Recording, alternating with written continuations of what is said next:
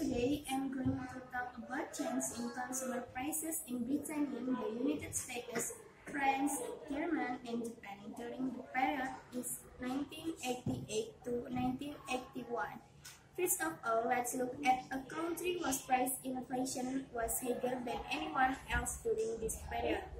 As you can see from the graph, price inflation in Britain stood at around 5% in 1988 rising to almost 10% in 1980, before falling back to 4% in 1981. Now, if we turn the another leg trending country, Japan, we can see that the situation is different. Price inflation in Japan was as low as 1% in 1988 and even though it rose, it was almost below 4%. Finally, let's look at Germany.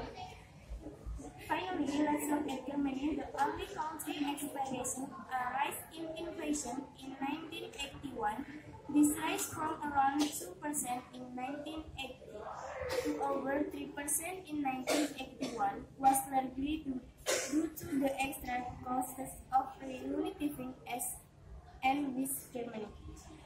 Conclusion, we can observe the Britain had the highest rate of inflation of the five countries examined.